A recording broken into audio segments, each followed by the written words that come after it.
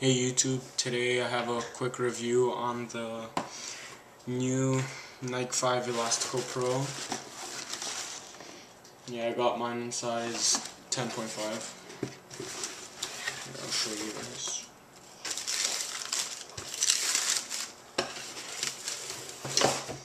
Yep, I got them in uh, yellow and black. The the reason why I really like these because they have full grain leather I'm pretty sure.